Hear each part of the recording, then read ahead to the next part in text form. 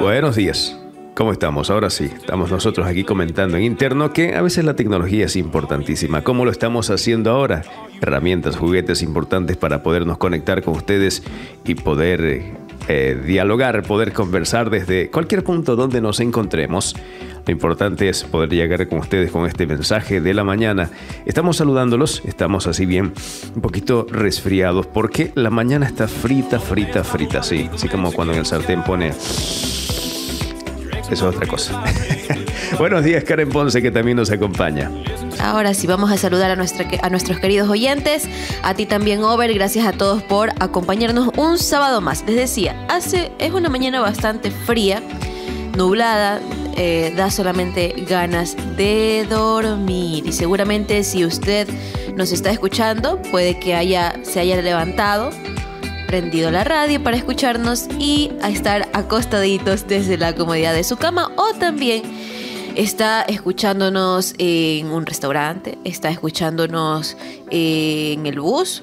Todo puede ser posible, pero a todos ustedes una buena mañana, un buen fin de semana. Nosotros estamos aquí para informarles todos los detalles de eh, esta semana.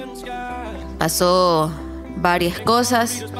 Eh, entre ellas, Cintia Viteri dice que una persona fue secuestrada en la ciudadela donde vive el presidente, así que imagínese. Imagínese, imagínese usted si eso pasa donde se supone que hay mayor seguridad. Se supone, se supone. Ahora, otros lugares, en cambio, llevan dos días donde se registran. Y ayer recién pudieron tomar control. Ayer pudieron, ajá, donde, ayer. donde disparan a cada momento y nadie hace nada. Ayer, como les decía, pudieron los militares recién ingresar. Pero bueno, así está pues Pidiendo de terrible. Permiso, que voy a ingresar, este, voy a controlar. este Guayaquil, este Guayaquil, ¿no? Y bueno, necesidades del agua en algunos sectores del Carmen, nos estará hablando el jefe encargado del Departamento de Agua y Alcantarillado acerca de las acciones que se están realizando al respecto de aquello. Eh, un barrio también nos llamó Nuevo Paraíso para ser precisos, para hacer conocer una necesidad, pues eso también estaremos presentando a nosotros. Muchas gracias por amanecer con nosotros. Presentamos aquí el espacio de información de Ciudad al Día FM. A esta hora, la ciudad se pone al día. Ciudad al Día FM. Ciudad al Día FM.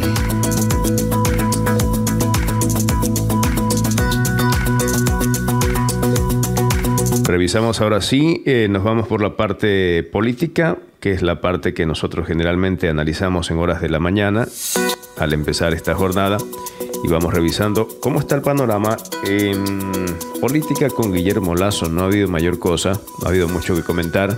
De entre de ellos, lo que podemos comentar es que Leonidas Isa manifiesta que está la cosa difícil.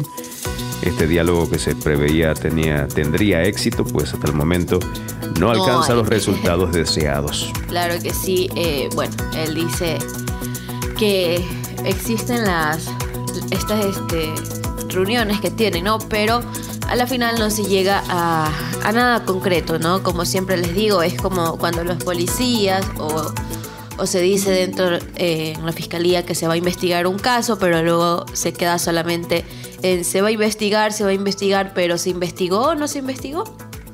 Así mismo están acá. Recuerden que la credibilidad del presidente Guillermo Lazo cada día baja más. Él inició con una alta credibilidad. Eh, muchas personas le pusieron la esperanza al presidente, la fe al presidente Guillermo Lazo. Pero ya ven todos los acontecimientos y, todas sus contradicciones en varios discursos, porque no ha sido en uno, han sido en varios. Recuerdo lo que pasó hace poco, que denunció a cinco asambleístas y luego ¿qué pasó? Dijo, no, retiren esa denuncia porque ya me, lo dijo una tercera persona y me lo dijo mal, entonces nada que ver. Ya, ahora, ¿por qué ha sido eso? ¿Usted quiere saber por qué? Porque favor con favor se paga. Estábamos hablando del juicio, eh, de un juicio a los vocales de la judicatura y se necesitaba, me parece que alrededor de 90 votos. Eh, ¿Quiénes fueron? Eh, bueno, ¿qué, fue todo este entramado, no? estos cinco asambleístas resulta que eh, votaron en contra. Entonces ahí decían, ahí están pagándole los asambleístas el favor. Eh, bueno, en realidad, Guillermo Lazo les está pagando el favor a los asambleístas a los que les quitó la denuncia. Entonces, solo para que vea, para que entienda un poquito cómo se maneja todo esto de la política. Pero bueno, mientras tanto sigue sin haber resultados y lo que las personas temen a es eh, otro paro. Y esto puede pasar, ¿no? Porque tú estás prometiendo algo y no lo cumples. Estás diciendo, sí voy a hacer esto, no lo haces. Sí voy Recuerden que estos diálogos se han querido mantener desde mucho antes y por eso es que inicia el, paro el pasado junio. ¿Junio o julio? Junio o julio, junio, julio. Junio, julio. por ahí estuvo, la verdad. Ya me desintonicé de ese paro. Junio, julio. Me parece que fue junio. Sí. Entonces. Bueno, nos eh, ayudan igual mandando un mensajito al 098-428-1050 aprovechamos para que estén más conectados con nosotros. Entonces esa es la cuestión, mis queridos oyentes. Eh, la credibilidad baja y pueden avecinarse nuevos, nuevas movilizaciones, que ya el FUT, por ejemplo, dijo vamos a convocar, o bueno, más bien, no vamos, convocaron ya a una eh, manifestación para, me parece que el 21 de septiembre. Entonces así está la cuestión.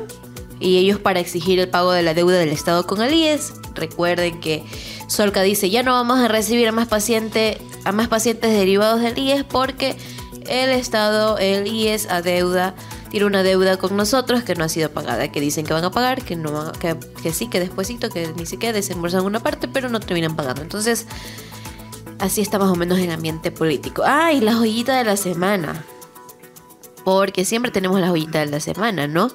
Él dijo... A ver. Que... ¿Quién dijo? Han invertido, Guillermo Lazo, que han invertido en educación, invertiremos más de 48 millones de dólares hasta el 2025, pero él asegura que es el mejor hasta el momento, ¿no? En educación, cuando solo, solo por así decirles, y esto solamente que uno se conoce ciertos casos, padres de familia tienen que hacer colecta para pagarle al guardia de, una institución. Porque ya eh, no quieren, no, esto ya no cubre el Estado, entonces a ellos les toca pagar. Otro, otra situación es que les toca también a veces, tienen que recoger dinero para arreglar algo de la infraestructura de la institución. Pero él dice que se ha invertido en tanto, tanto y tanto pero a la final mire lo que está pasando. Y es que me encantas tanto. Ya me acordé de esa canción. Ha invertido tanto, tanto.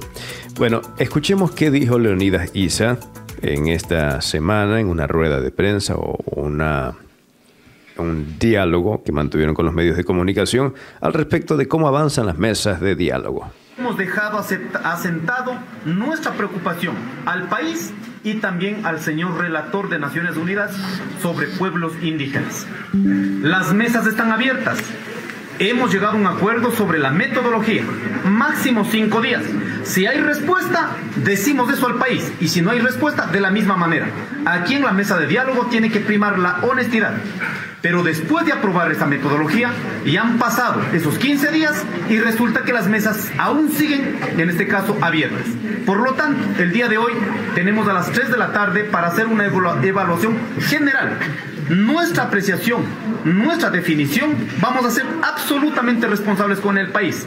En este momento, los que fuimos a la mesa de alivio financiero, incluso hay una resolución, pero vamos a en la práctica, prácticamente no hay nada. Nuestra gente sigue sufriendo esos embates de las entidades financieras, siguen en este caso siguiendo los procesos judiciales por la deuda.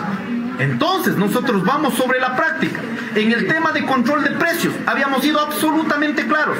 Hemos dejado una propuesta por escrita donde de 352 productos de la canasta básica de este país habíamos solicitado única y exclusivamente el 12% de los productos. ¿Qué significa 44 productos? Los más, eh, los más necesarios, digamos, no los más importantes, de las cuales en este momento sigue subiendo el aceite o simplemente no ha bajado. Vamos a ver en este momento, incluso está el tema del transporte. Antes estaba el pasaje desde desde eh, Quinche hasta Quito, 70 centavos. En este momento está sobre un dólar 20. Entonces, en esta semana subieron los pasajes. ¿Realmente eso estamos teniendo conocimiento como gobierno nacional o es que hay autonomía para eh, cada sector, en este caso que están incrementando? En esta parte no ha parado de subir los insumos agrícolas. Esto hemos puesto con absoluta responsabilidad en la mesa que discutimos fomento productivo. Debe haber una política que por lo menos controle los precios, por lo menos estabilicen, no suban más cada semana. Pero sin embargo, los productos de los campesinos, por lo menos antes estábamos vendiendo a 12 dólares, en este momento estamos vendiendo a 8 dólares el, el saco de papas significa que estamos vendiendo a 8 centavos la libra de papas, cuando en las cadenas de comercio, aquí Supermaxi, la libra de papa, el kilo de papa está en este caso, el kilo de papa de 2 libras está un dólar 30, un dólar 40, dependiendo en este caso de la especie. No tenemos absolutamente nada. Por eso nos preocupa cuando decimos que está saliendo algo. No hemos ido sobre el 100%. Hemos reducido dentro de las demandas, en este punto al menos, los productos más urgentes para resolver en esta crisis que todos estamos viviendo. Pero hemos Muy bien, dejado así entonces el manifiesto de Leonidas Isa frente a la situación, cómo está avanzando el tema del diálogo, pues como vemos no es nada alentador y eso nos da un, una visión que podría suceder una segunda movilización. No creemos que se unan al FUD que está, que está organizando la paralización en estos próximos días.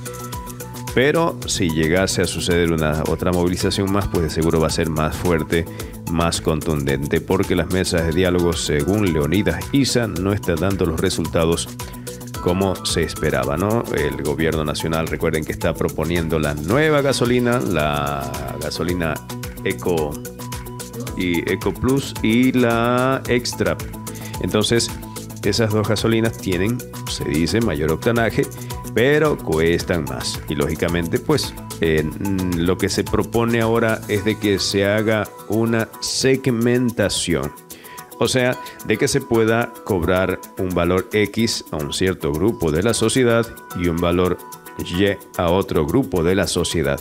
Porque tanto ricos como pobres pagan los mismos impuestos, pagan el mismo servicio de agua, pagan las mismas planillas eléctricas en, cuanto a, kilovatios. O sea, no hay una segmentación que diga que la gente pobre va a pagar menos y que la gente millonaria paga más. Incluso la gente millonaria paga menos.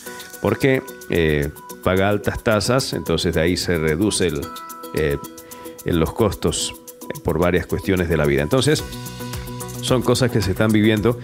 Y bueno, de ahí caemos también a lo que Cindy Viteri dijo en esta semana en un medio de comunicación en Guayaquil, donde estaba ofreciendo una rendición de cuenta de todas las actividades que ella ha realizado y manifiesta que la delincuencia en Ecuador está preocupante, tanto así que entraron al plan de vivienda o urbanización de nuestro querido presidente para atentar contra la vida de una persona, raptándola, o sea, secuestrándola.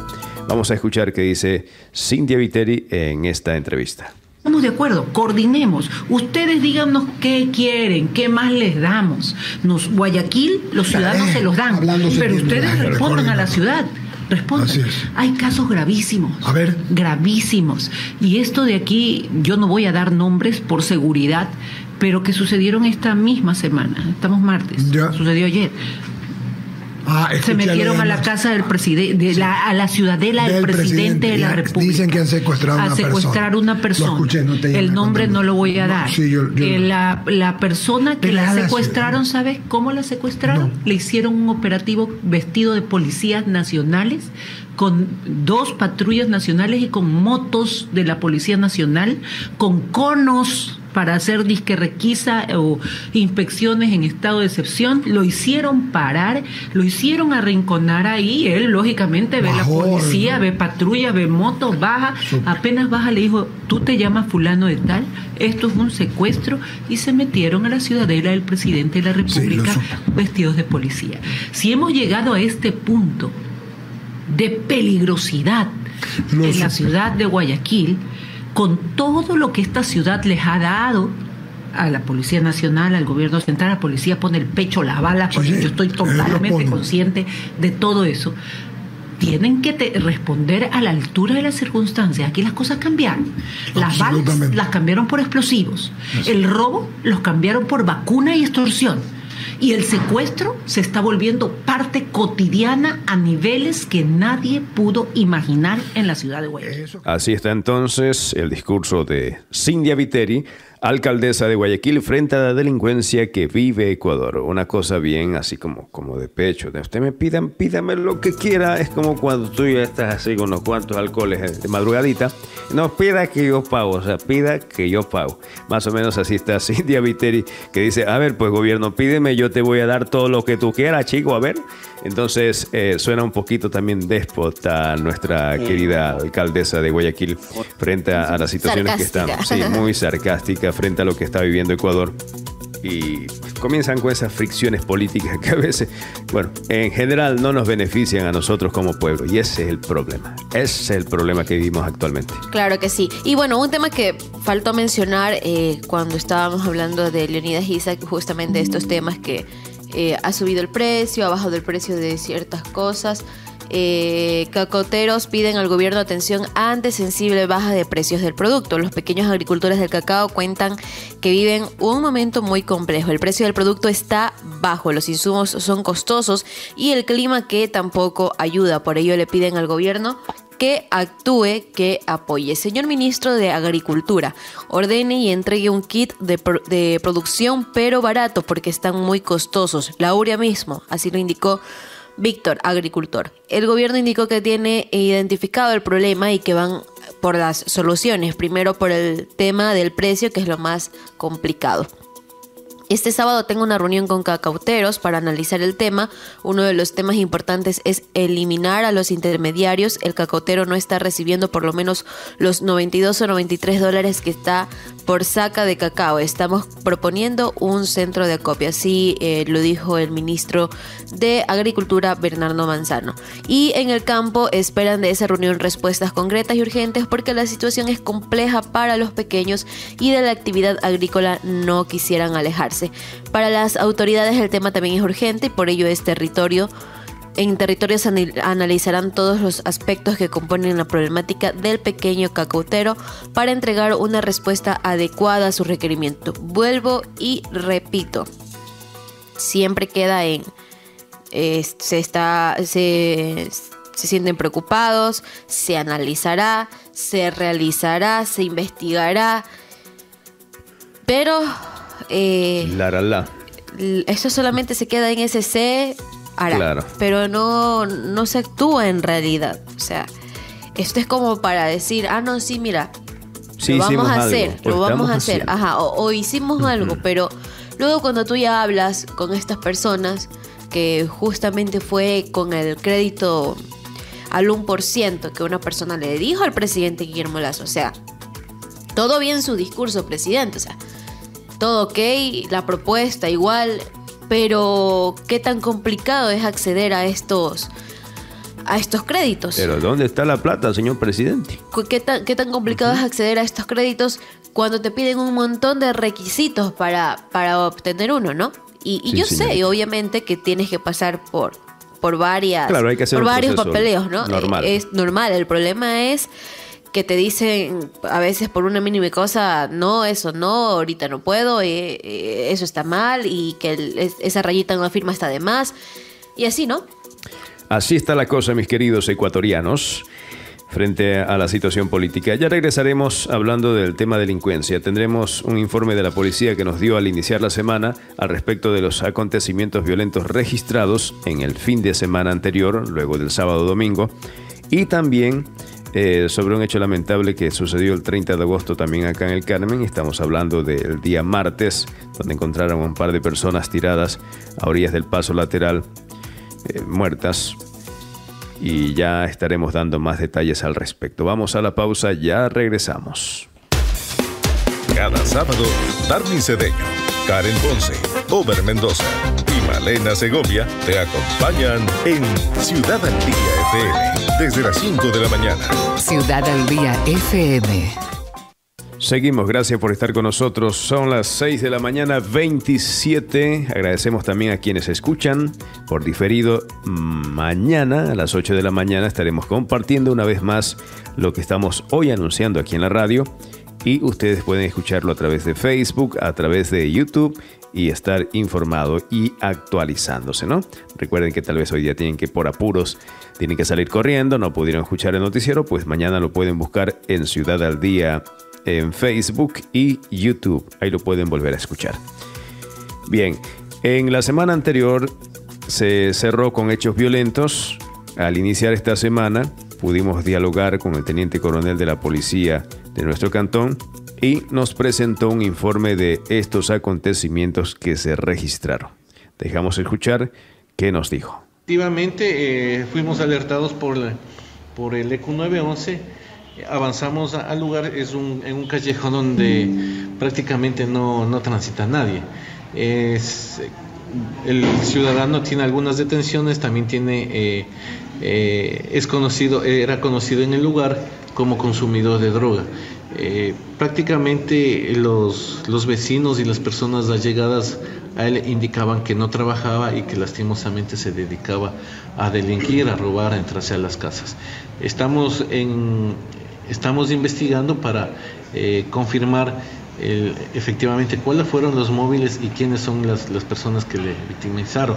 Lastimosamente es un lugar donde que no presta, eh, no presta facilidades como una, cámara de, de videovigilancia y las personas que viven ahí absolutamente no desconocen, no aportan con algo, con datos eh, certeros como para tener una línea de, ya de eh, una línea investigativa. Estamos, estamos recopilando lo, que, lo más que se pueda para ya ir este, direccionándonos al, móvil del... Según este. el caso de anoche, teniente coronel en las vainas, otra muerte violenta. Sí, eh, efectivamente, a las aproximadamente serían las 23 horas, 22 horas, eh, tuvimos una, una alerta en en este sector de Rosario, Vainas. donde que efectivamente fueron victimizados cinco personas, cuatro personas heridas y una quinta eh, eh, ya eh, fallecida. llegamos al, lugar de los hechos y esta persona lastimosamente tiene un grado de consanguinidad con una víctima que ya tuvimos hace unas tres semanas, cuatro semanas, en el mismo sector. Eh, las cuatro que las cuatro los cuatro heridos avanzaron hasta el hospital. Se les valoró se les, se les verificó. Dos fueron trasladados al hospital de Santo Domingo. La situación de ellos es estable. Eh, las otras dos personas ya fueron dadas del alta y obviamente esto hace que tengamos ya uh, una hipótesis que anteriormente ya estábamos manejando. ¿Con cuántos disparos acabaron la vida de este ciudadano y los disparos de los cuatro heridos? Ya, eh, los heridos fueron impactados en, sus extremidades. Eh, podríamos hablar en forma general, fueron, fueron eh, impactados en las extremidades y no comprometen, sí, piernas, brazos, no comprometen básicamente su, su estado de salud. Eh, el ciudadano que fue víctima eh, tiene aproximadamente cuatro impactos de bala en diferentes. Ellos, ellos, ellos que estaban reunidos en una fiesta, reunión familiar, ¿cómo se da el caso? Eh, estaban reunidos en, el portal de, de, su domicilio día domingo, conversando, este, dialogando. llega un vehículo eh, acompañado de, de, motos y proceden a, victimizar a victimizarle al, Todas las personas que llegaron en los vehículos empezaron a disparar según las hipótesis. Eh, hay, hay, llegan en el vehículo, pero hay exclusivamente dos personas que salen con armas.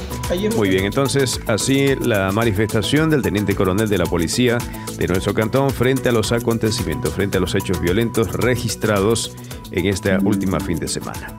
Y bueno, nosotros dijimos, vamos a empezar la semana bien, a lo bien. Todo, bien. Sí, todas las semanas dijimos nosotros. Todos los días estamos diciendo, la semana va a empezar bien, con pie derecho, positivo. Pero siempre termina pasando algún acontecimiento lamentable. Y recuerde que, ah, esta semana también fue lo del policía. El policía que mataron en un night club en Quevedo. también fue... De las personas que de los presuntos sospechosos de la, de la muerte del, del, policía, del asesinato del policía, eh, dos de ellos ya fallecieron. Se, dicen que los mataron. Medio raro que hayan fallecido, no sé. Sí. Otros, o sea, estaban heridos. Otros le echan la culpa, claro. Sí, estaban heridos. Uno, uno estaba herido en la pierna. ¿Y el otro? Herido en el corazón. El otro herido en el corazón.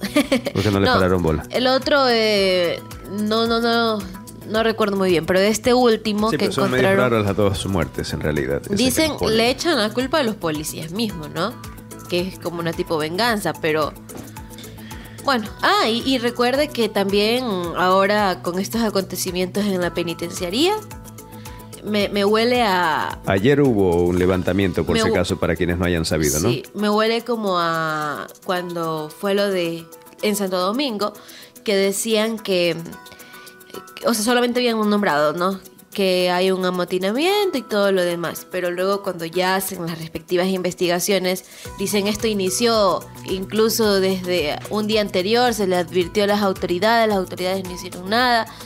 Y yo creo que más o menos así está la penitenciaría, pero el día de ayer eh, habían algunos guías penitenciarios heridos, militares heridos, sí, una penitenciaría litoral de Guayaquil. Eh, donde más han ocurrido estos hechos violentos. Claro, y también se decía que los policías y los militares, al ver los agentes de control de estos centros de reclusión, pues no le pararon bola, está herido, no sé, solucionate como puedas. Sí, eh, tuvieron que hacerlo como dices tú, como ellos pudieran, ¿no? Eh, bueno, así está la situación en Guayaquil. Hay que esperar, hay que ver qué, qué pasa, qué dicen las autoridades, qué, cuáles son los resultados de esto, porque de seguro eh, no solamente han de existir heridos, ¿no? Mire, por ejemplo, aquí dice, eh, por estaba lo de este, estos guías penitenciarios que tenían que ir en un carro ante la falta de colaboración de policías y militares, dicen los mismos guías, tuvieron que sacar a su compañero herido en enfrentamiento entre pabellones en la penitenciaría de Guayaquil. Cuando hay tiros entre policías y militares prefieren esconderse hasta que todo se calma. Y ahí en un video que circula en redes sociales vemos que alguien va eh, herido tratando de llevarlo hacia una casa de salud. Ahora, las cifras, cuántos serán, qué pasará, porque siempre pues se está a la espera de las cifras, como digo, solo cifras, cifras frías, pero cuál es la historia que hay detrás de cada persona.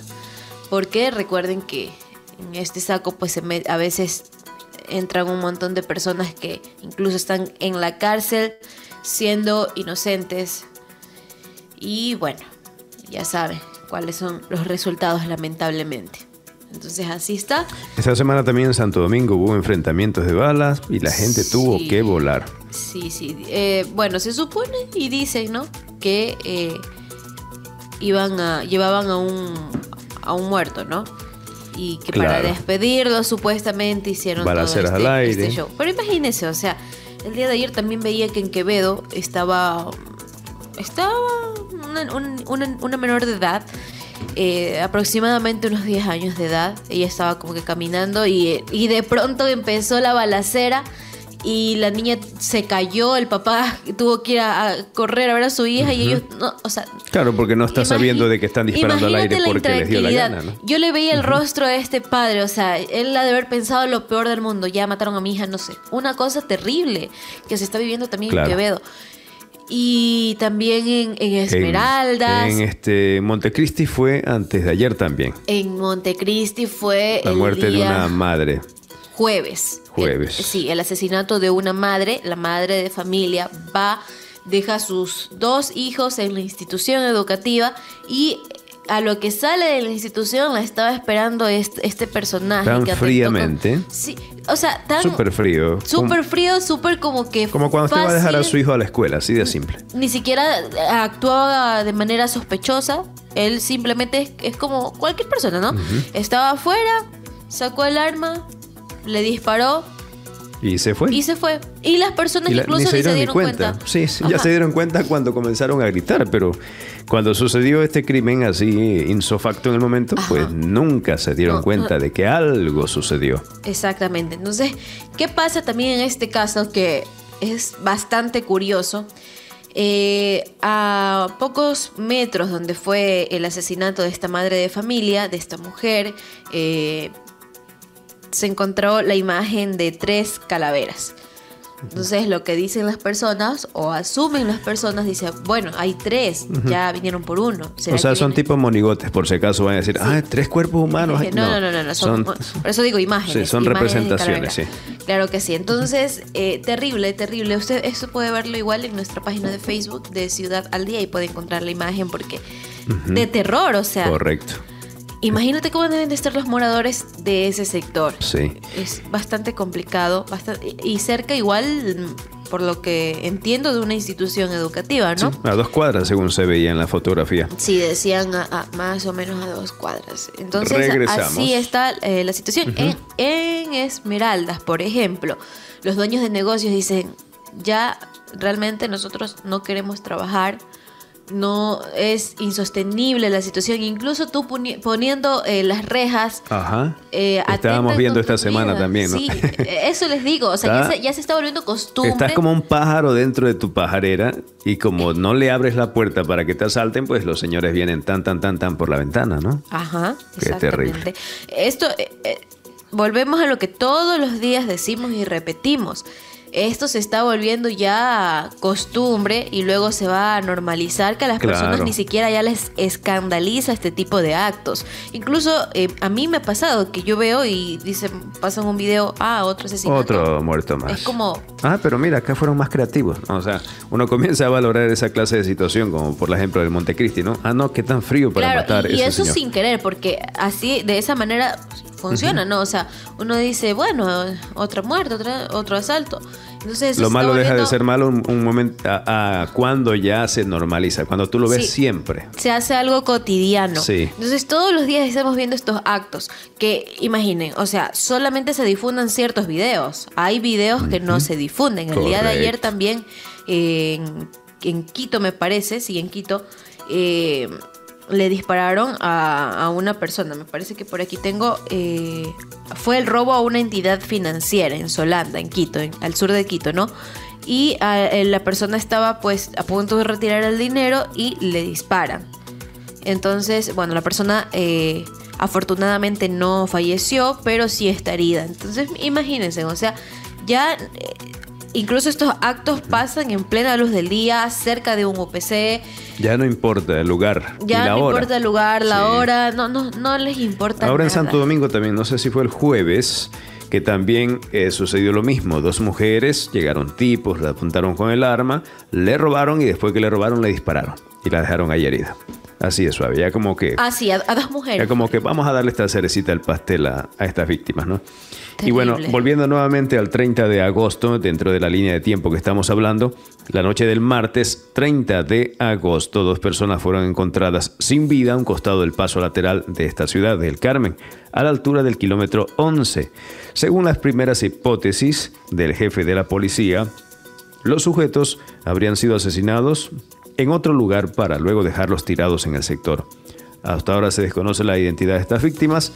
Algo que le llamó la atención a la policía es que en el pecho de los cadáveres habían dejado un letrero, un mensaje que decía, en términos generales, que eso les va a pasar a los que están robando en el Carmen. En pocas palabras, estas dos víctimas eh, se supone que se dedicaban a robar a plataneros, a agricultores, a ganaderos, a comerciantes, a transeúntes, según lo que entendimos. Y este mensaje, al parecer, quisieron dejarlo en claro que si siguen haciendo esta clase de delincuencias en la ciudad, va a continuar apareciendo gente botada en el paso lateral. Es lo que interpretamos. mire, mire nomás. Así está la cosa. Entonces, así estamos con la situación. A ver, listo, ahí estamos finalizando esta parte. Perdonen que los llenemos de tanta información mala, estresante. Pero necesaria que usted sepa cómo está la situación. No nos alejamos a que usted diga, pues chévere, no voy a escuchar noticias, quiero ser más positivo, quiero emprender, pero hay que estar con las tenazas hacia arriba sabiendo lo que está sucediendo. No hay que alejarse de la realidad, de cómo está la situación en Ecuador para saber cómo actuar. O sea, cerrar los ojos frente a algo que está sucediendo no, no deja de suceder. Solamente tu, tu cerebro reacciona diciendo, ah, no, no pasa nada. Quedarte en silencio por algo que está sucediendo y no reclamar lo que necesitas no te está quitando que tú necesites esa situación. Entonces son cosas así.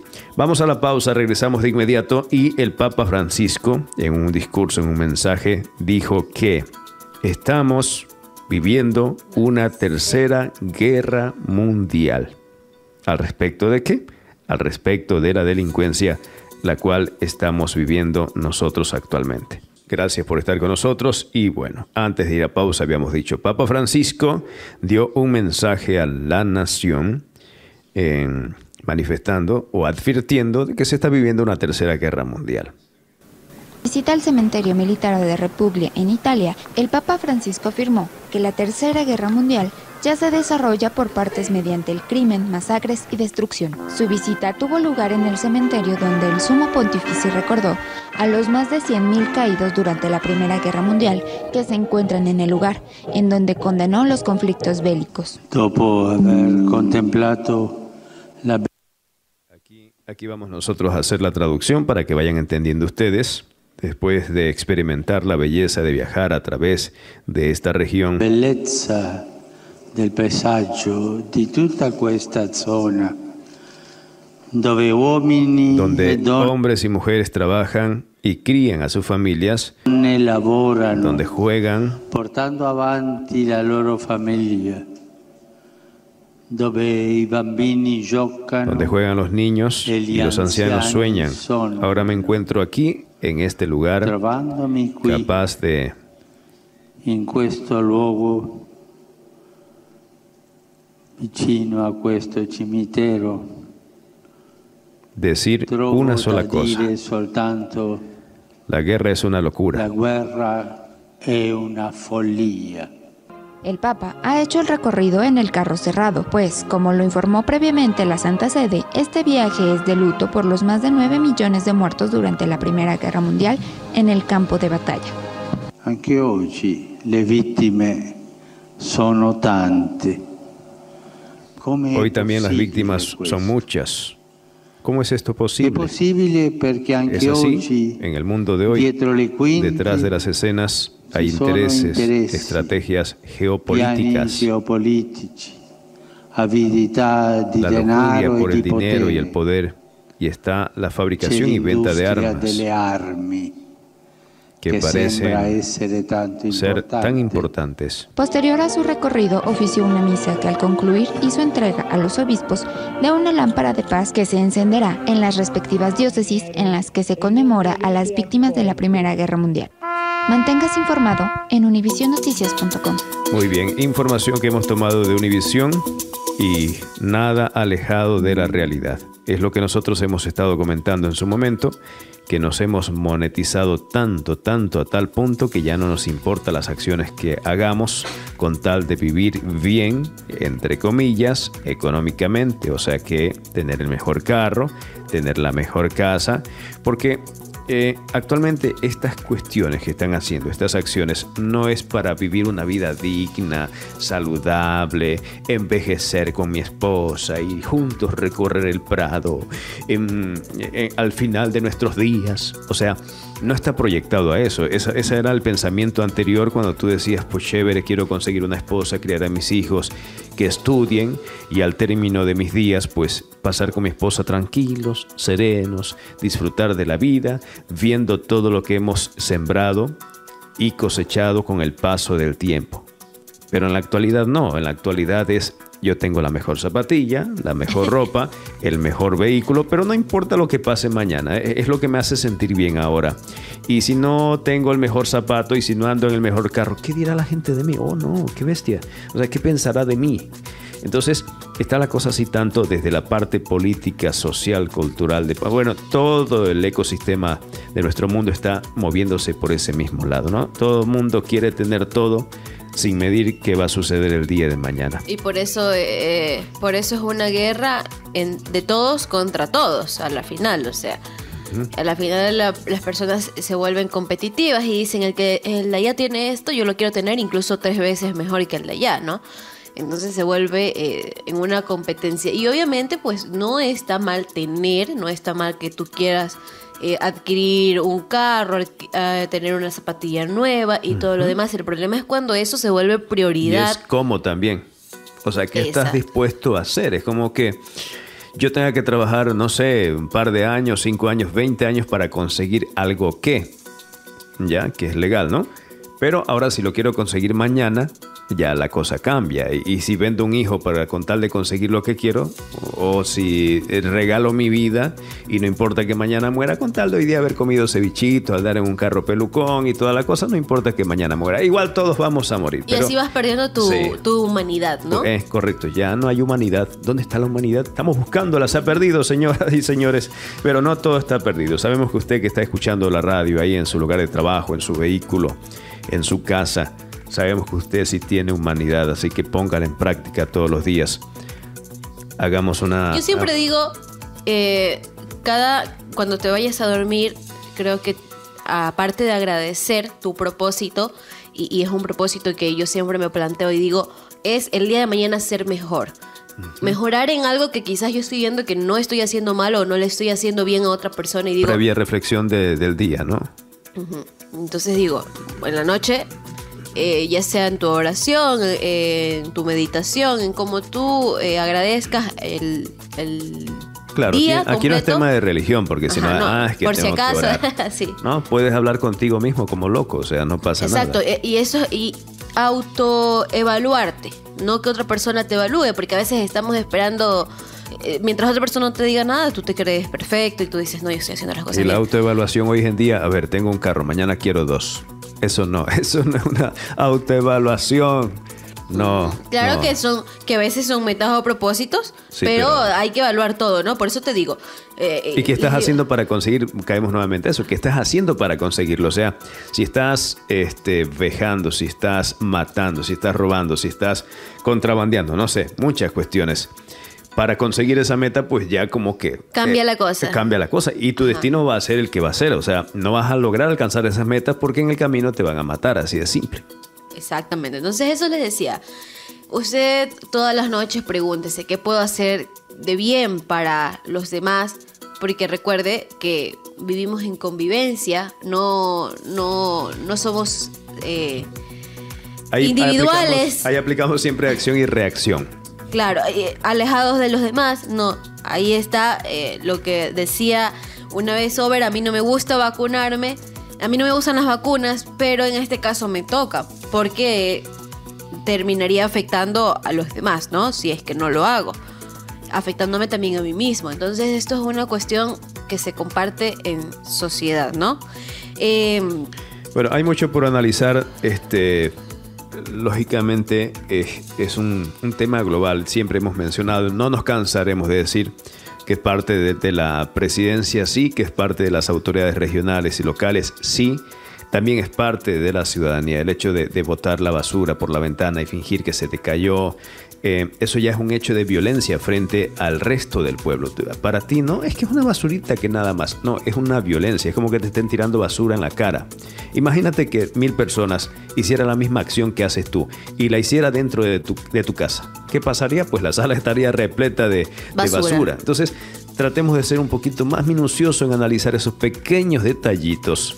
O sea, eh, fue algo, esta semana me pasó algo increíble estábamos allá. Bueno, no es increíble, es creíble. Estaba en la reunión de escuelas de, mi hijo, de, el, mayor. Y están todas yo estaba justamente sufriendo porque, usted sabe, ¿no? Yo, yo no soy tan complicado, pero sí me gusta tener las cosas limpias, ¿no? Entonces llegué a la mesa ya, me senté, me senté y dije, ah, esto es institución pública, ¿no? Esto es institución pública, mesas rayadas, paredes rayadas y estaba canalizada. ¿Por qué no hacen una minquita aquí entre los, los habitantes de este lugar que van a estar todo un año estudiando aquí y se ponen a limpiar las cosas y poder vivir más inocuamente? Y eso, y eso yo recuerdo que cuando estaba en el colegio sí se hacía. Sí, yo lo hacía también. Banca rayada, banca que tiene que limpiar, que tiene que pintar. Porque estamos acostumbrados a eso, ¿no? Y a veces esto viene desde casa cómo te, cómo te están criando, ¿no? y, tú dices, no, pero no pasa nada, eh, si yo tiro una basurita no va, a afectar al medio ambiente.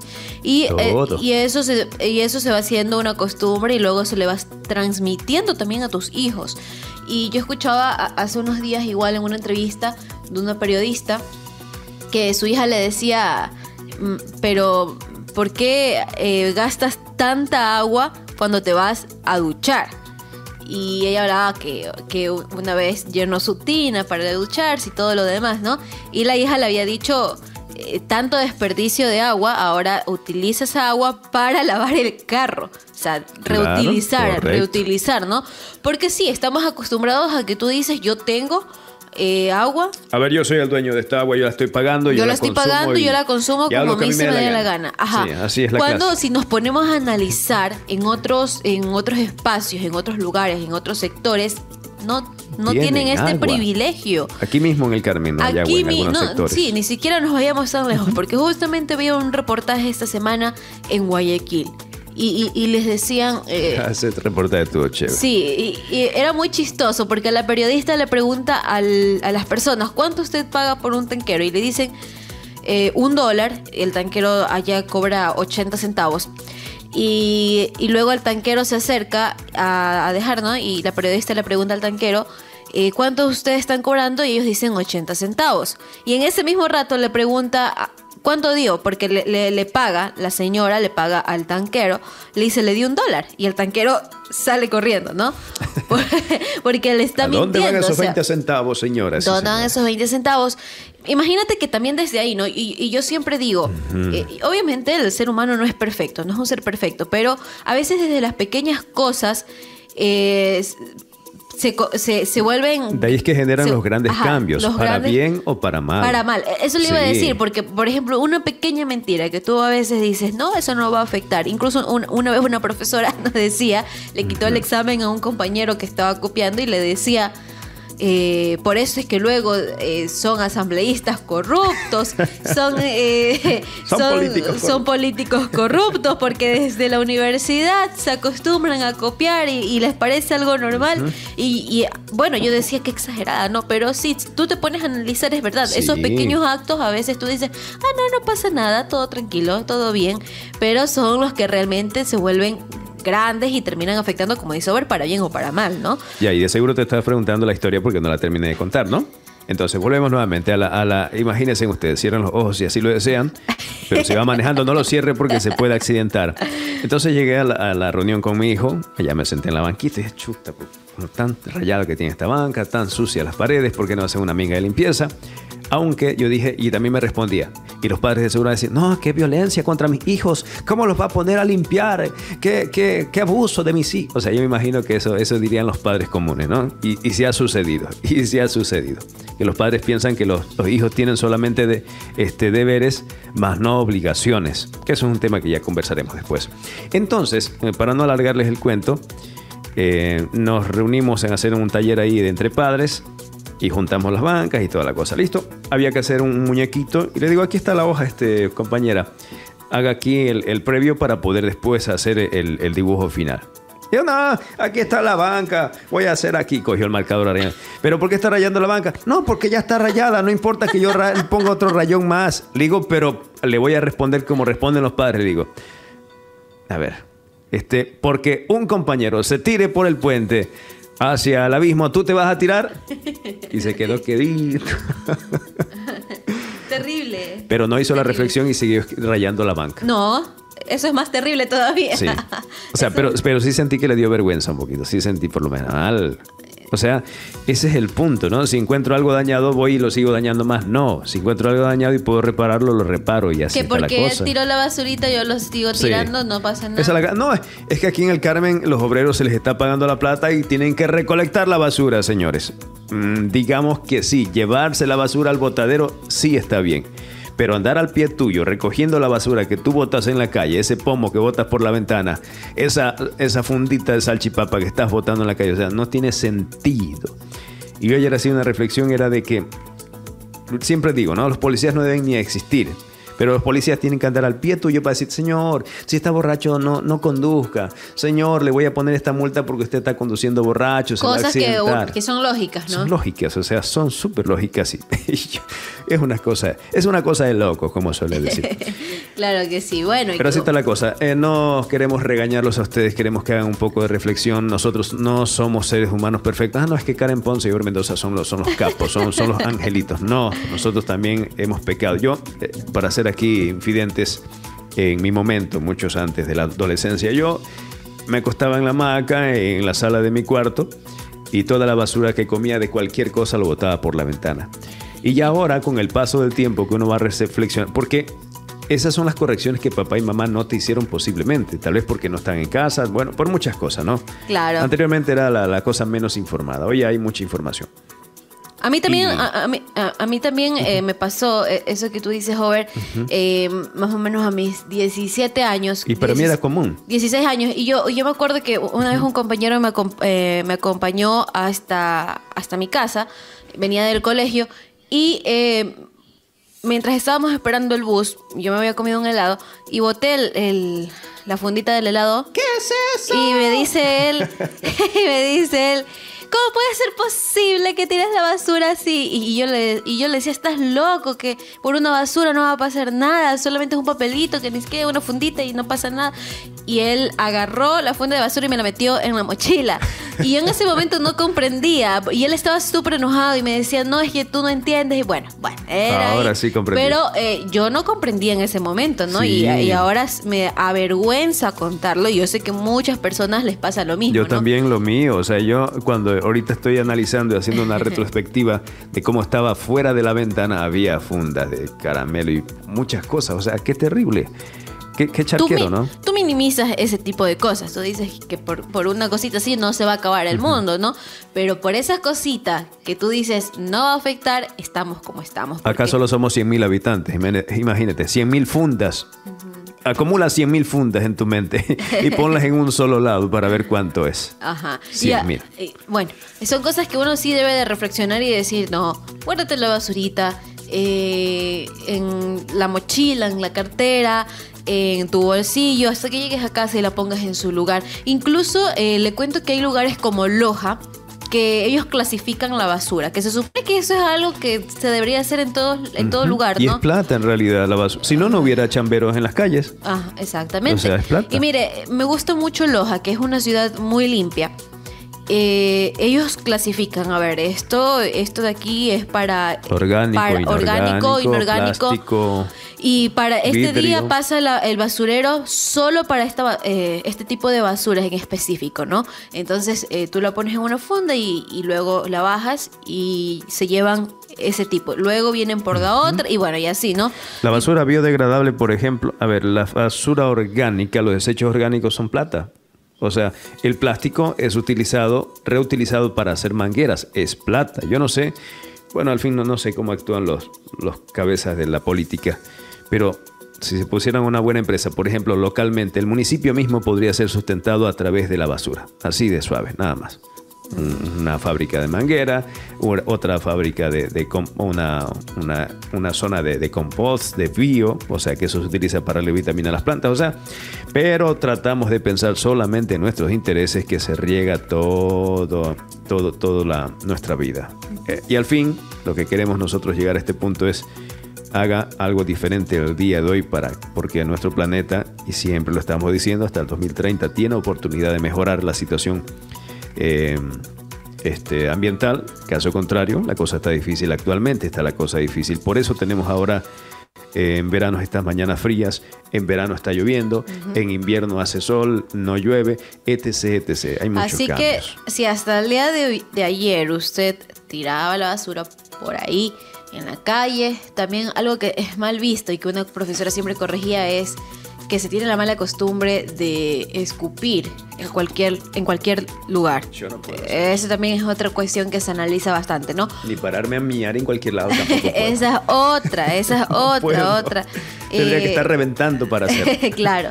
Entonces, eh, sí, como les decía, si el día de ayer usted todavía seguía haciendo este tipo de cosas, hoy genere ese cambio que sí se puede es bastante complicado cuando ya tienes eh, este sistema de creencias y, de costumbres y tú dices, no, es que es complicado para mí cambiar y todo lo demás. Claro que sí, es complicado, pero se puede empezar generando estos pequeñísimos cambios. Se puede iniciar, se puede ser mejor, claro que sí, desde lo pequeño. Y no empiece con todo. Siempre decimos, no, empiece, con, todo. no se tire toda la culpa encima. Este Empiece con una sola cosita. Una sola cosita. Una sola Y verá cómo se genera el cambio. Y aparecemos políticos. el cambio. Queridos amigos, vamos a generar cambio del cambio. No, sí, sí. en realidad el cambio viene mm, por esa parte, ¿no? Por, nosotros. No esperemos que nadie más lo haga. Claro que sí. Imagínense tantos ríos contaminados. Vemos las playas también cuando vienen los turistas, van los turistas. Sí. Eh, la cantidad de basura que se recoge. Entonces, desde ahí, desde ahí vamos viendo que este tipo de cosas no están bien para nuestro medio ambiente, que es el lugar donde vivimos y que no nos cuesta, porque llegará un momento que creo que hasta el aire nos va a costar. Y es por eso que a veces decimos, ah, como no nos cuesta, no importa. Ya hay guerra por el agua en otros países, nada más le hago puntualizar por si no sabe, ¿no? El agua, sí, por el agua, no era el aire, era el agua que se acuerda que usted decía que iba a costar, sí. Y ahora recuerden que todo lo que nosotros desechamos aquí, todo lo que desechamos aquí, poco a poco, ustedes parece increíble, ¿no? Esa basura que botó ahora acá, esa basura va a llegar al mar. Y esa basura se va a regresar en el pescado que usted está comiendo. Así de simple. Ya está sucediendo. Por si acaso, ya está sucediendo. Claro que sí. Vamos a la pausa, ya regresamos de inmediato con el ingeniero Luis Lord. Se le ha pegado a la colcha por más de media hora. Ya estamos en contacto con él. Ya viene en camino. A propósito, para, para no sentirse tan culpable de llegar tarde, nos va a traer pancito con café. Así que estamos bien. Son las 7, 7 minutos a la pausa. Nos vamos y ya regresamos. Cada sábado, Darny Cedeño, Karen Ponce, Ober Mendoza y Malena Segovia te acompañan en Ciudad al Día FM desde las 5 de la mañana. Ciudad al Día FM. Seguimos con más información. Gracias por estar con nosotros. Son las 7:13. Seguimos con la actualidad informativa. Ahora nos vamos con el tema agropecuario. Así que preparamos. Ya está con nosotros el ingeniero Luis Lor para conversar, para seguir analizando estos temas de interés que usted sabemos que cada semana está tomando apunte de todo lo que decimos. Eh, parece que no nos escucharan. Siempre decimos parece que nadie nos está escuchando. Pero sí, justo eh, ayer estábamos analizando con un agricultor que decía, pues, eh, muy bien los consejos que dice el ingeniero. Yo cada semana estoy pendiente de aquello y estoy tomando apunte para poder mejorar mi, este, mis productos, para poder mejorar mi agricultura. Entonces nos parece interesante todo aquello que estén siguiendo los consejos que estamos nosotros mencionando.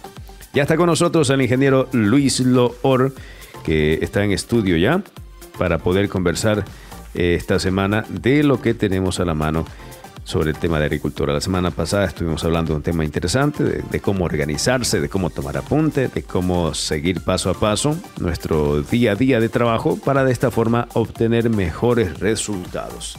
Buenos días, ingeniero. Buenos días, gracias por estar acá. Hola, hola, hola. Buenos días, buenos días, Over. Eh, buenos días a los compañeros Radio Escuchas. Siempre es un gusto estar aquí en la radio. Siempre es un gusto. Eh, venir y aportar con los pocos conocimientos que uno posee y tratar de apoyar al agricultor en todo lo que se pueda en el tema agrícola. Muy bien. Hoy tenemos un... Eh, ¿Qué tenemos tema para el día de hoy? Bueno, la semana pasada eh, habíamos quedado en que íbamos a hablar de las certificaciones en cuanto al, manejo agrícola. Eh, por lo importante que estas son en cuanto a la posibilidad de vender mejor nuestros productos. Vamos a nombrarlas un poco para que el agricultor ya tenga una conciencia de cuáles pueden ser estas certificaciones. Vamos a ahondar un poquito en el tema, no demasiado, Porque el agricultor, no todos los agricultores quieren acceder. Entonces, si algún agricultor está dispuesto a acceder, pues tiene simplemente que acercarse a buscar más información.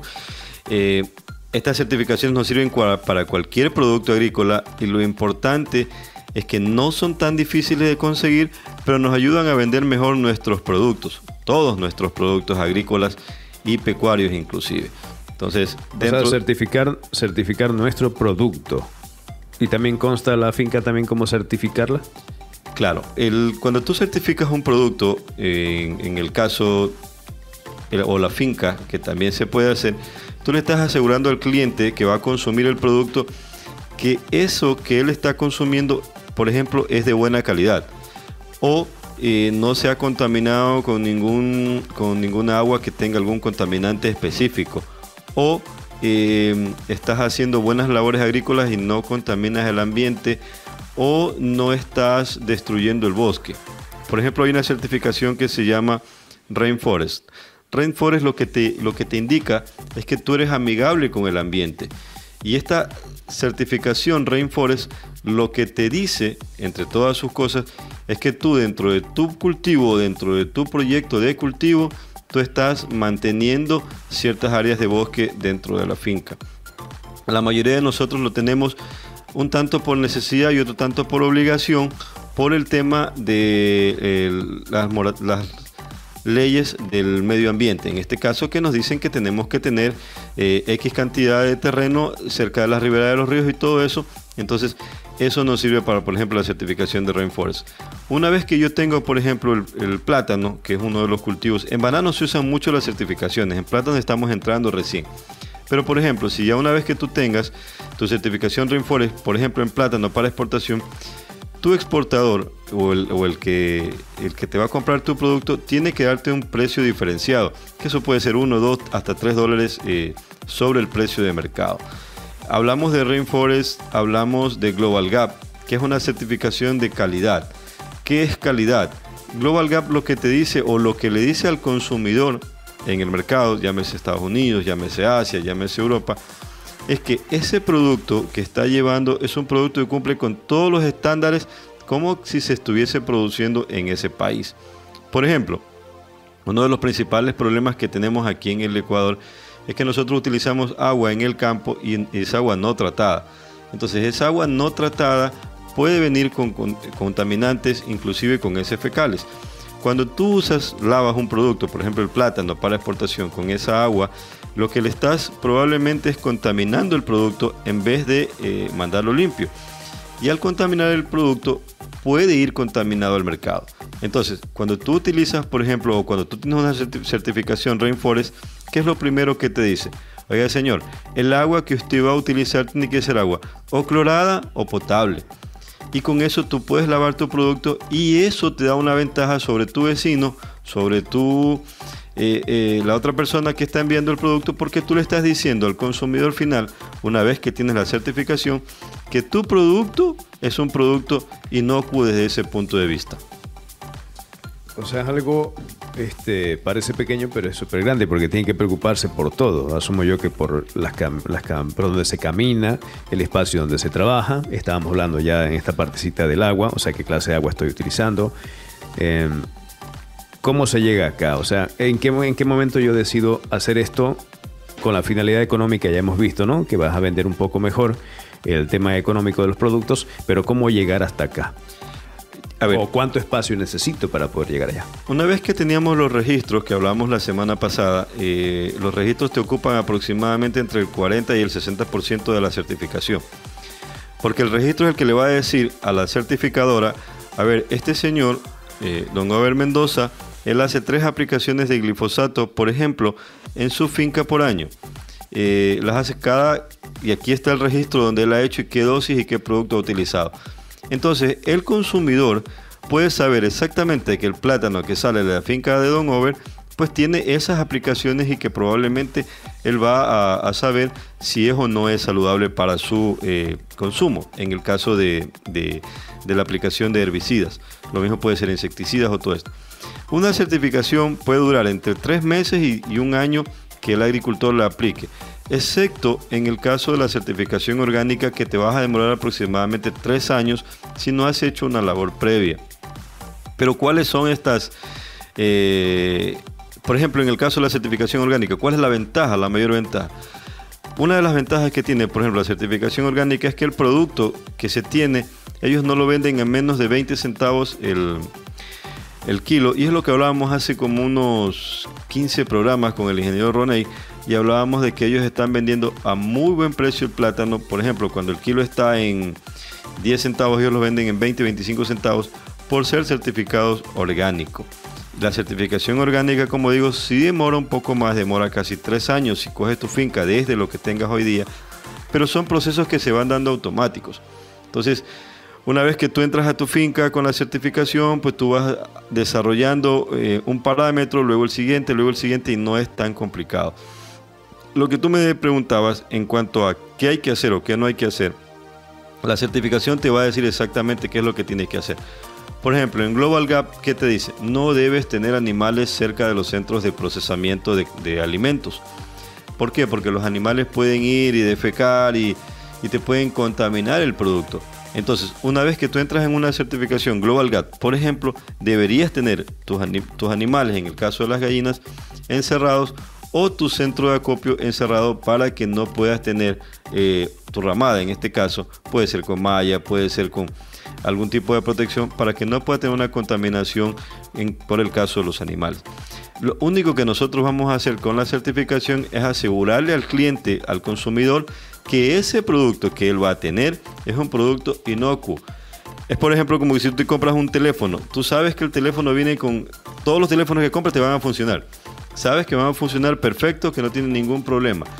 Eso viene con una certificación de fábrica que te dice, todos los productos que nosotros sacamos vienen perfectos y vienen exactamente iguales. Lo que te dice el catálogo es lo que viene en el producto. Lo mismo va a ser en el caso agrícola. Lo que te dice la caja afuera es lo que va a venir adentro. Y eso se, se usa, por ejemplo. Hay otras certificaciones que son más específicas. Por ejemplo, hay una certificación que se llama kosher. La certificación kosher es la certificación que usan los judíos. Eh, ¿Qué es básicamente lo que te dice la certificación kosher? Que, que tu producto o el producto que está consumiendo esta persona, entre, entre varias cosas, ¿no? Porque es muy, muy específica, no eh, se han contaminado con ningún tipo de, de, producto animal de grasa de cerdo, por ejemplo, o de cerdo o de algún tipo, porque ellos son muy específicos en este tema de los animales. Entonces, cuando tú tienes, por ejemplo, la certificación kosher, tú puedes entrar a ese mercado de judíos que es un mercado que paga muy bien, que paga muy bien y que es un mercado muy específico, muy específico que si tú entraste, estás dentro de un mercado donde vas a ser, digamos que tú el, proveedor principal o uno de los proveedores principales porque no todas las personas acceden a esta certificación y no todas las personas pueden, como lo digo, entrar a, a certificación kosher. ¿Qué está pasando, por ejemplo, en el caso de Banano, para poner a nuestro primo hermano en Musacias? Banano usa mucha certificación porque ellos ya al mercado no le dicen no solamente quiero banano y le llaman banano convencional, sino que están mandando mucho banano con certificación orgánica, con certificación eh, Global Gap, con certificación, con diferentes tipos de, de certificaciones que lo que hacen es que le permiten al consumidor llevar un parámetro y decir, este producto que estoy consumiendo tiene estas características que a mí me interesan. Por ejemplo, que es orgánico. Entonces yo sé que ese plátano que me voy a consumir es orgánico porque hay una empresa que me está diciendo el, producto de esta finca, de este, de este lugar, es orgánico y está escrito como tal. Esa empresa es responsable de eso en este caso. Muy bien. Em, ahora hago todo este proceso. ¿Las mismas empacadoras a las cuales yo vendo son las que se encargan de eso o yo tengo que enviar ese producto directo a Guayaquil, por ejemplo? Bueno, lo ideal sería que antes de hacer el proceso, por ejemplo en el caso de exportación de plátano, te involucres con la exportadora y junto a ellos eh, veas cuál es la certificación que te conviene. Porque recuerda que nosotros somos pequeños productores, entonces no sería muy interesante enviar 20 cajas a Estados Unidos, porque no tenemos cómo enviarlas en un contenedor. Pero sí podemos hablar con una empresa exportadora, eh, llámese Dole, llámese las que están exportando, y preguntar, por ejemplo, cuáles son las certificaciones que ellos trabajan y junto a ellos hacer el trabajo. Porque al final ellos son nuestros aliados comerciales. Nosotros somos los que producimos y ellos son los que venden. Entonces no podemos irnos alejados de la mano de ellos. Eh, sucede muchas veces que como no hay tanta fruta certificada, lo que hacen estas empresas es que dicen, vamos a mandar 20 eh, pales convencionales y 4 pales certificados eh, Global Gap, por ejemplo. Y se envían dentro de ese contenedor lo que está certificado. ¿Cuál es la ventaja? Y vuelvo y repito al agricultor. Primero que va a saber lo que está produciendo y cómo lo está produciendo. Es lo primero, él va a estar seguro de que está produciendo un producto que se lo puede consumir él, su mamá, su esposa, sus hijos. Segundo, que el consumidor afuera sabe qué es lo que está consumiendo y sabe cuál es la ventaja de consumir ese producto. En el caso si es orgánico, pues bueno, yo estoy consumiendo un producto que no fue contaminado con ningún tipo de producto químico durante su proceso, desde la siembra del, cultivo hasta la cosecha, inclusive dentro del proceso del, cultivo. No sería idóneo, por ejemplo, que si yo tengo un plátano que ha sido eh, sembrado orgánicamente, al final, en el último lavado que lo voy a hacer antes de ponerlo en la caja, use productos químicos que no sean aprobados por la certificación orgánica. Estas certificaciones las dan empresas y eso hay que tener claro. Yo hablo con mi empresa exportadora, mi empresa exportadora me dice, perfecto Luis, tú vamos a hacer una certificación Global Gap y ellos te ponen en contacto o tú te pones en contacto con una empresa que certifique para Global Gap. Y una vez que tú estés certificado en Global Gap, tú puedes entrar ya a esos mercados específicos que en el caso de plátano, como digo, somos muy pocos los productores que tenemos certificación eh, eh, o que tienen certificación, porque yo no la tengo ninguna, eh, que tienen certificación, y, pero aquí en el Carmen ya hay, aquí en el Carmen hay productores que tienen certificación orgánica y que tienen también certificación Global Gap, que son las dos que, que están aquí en el Carmen actualmente. Muy bien. Parte interesante. Tenemos pausa, ya regresamos de inmediato para seguir conversando de este tema interesante para nosotros seguir potenciando, creciendo. Recordando siempre de que cuando necesitamos o, o queremos crecer, no hacerlo de una forma abrupta, o sea, hacer, querer hacer todo hoy, sino ir poco a poco para de esa forma se nos haga costumbre tener estas buenas acciones. De regreso para continuar con ustedes, gracias por estar con nosotros. 735, puntuaciones importantes en el tema que hemos abordado el día de hoy, ingeniero. Sabemos que es, un poquito complicado. Cuando nos hablan de documentación, nosotros decimos, ah, no, no, no, no, no, mejor vendo a 3 dólares y no a 5, para poner como ejemplo. Claro, el tema, el tema de esto es llevar nuestro producto es lo que hemos estado hablando durante todos los programas, ¿no? Llevar nuestra finca o nuestro producto a ser una empresa. Em, en este caso, una empresa agrícola, pero estas certificaciones aplican para cualquier empresa. Cuando yo voy a sacar un registro sanitario, básicamente, para vender un chifle, básicamente es cumplir ciertos estándares y esos estándares son como una certificación. Eh, lo que nosotros tenemos que pensar y hacer es que nuestra finca o nuestro negocio sea cada vez más rentable y obviamente más productivo. Dentro de esa rentabilidad y productividad tenemos que cumplir con varios parámetros. Eh, y lo que estamos dando también dentro del programa son opciones de cómo hacer que tu producto lo puedas vender mejor. Eh, ya depende del agricultor si él acepta o no la recomendación, pero al final del día son posibilidades que están ahí y que quien las acoge, pues obviamente eh, puede vender mejor su producto y puede vender un producto más sano, más inocuo, eh, que el consumidor sabe lo que está comprando. De hecho, cuando tú tienes Global Gap, el consumidor en cualquier lugar del mundo puede saber exactamente en qué espacio físico del mundo en el que vivimos se está produciendo esa fruta, porque tiene la eh, las coordenadas y todo el tema de la finca donde dice exactamente en este lugar del mundo se está produciendo este plátano. Además de estas certificaciones hay una certificación que es gratuita que la da eh, en este caso agrocalidad y vamos a ver si la próxima semana podemos traer a un técnico de agrocalidad para que nos hable de la certificación de agrocalidad que ya está aceptada en algunos países y que esa certificación lo que le dice al consumidor es que eh, el Ecuador como país está asegurando que ese producto va con ciertas características.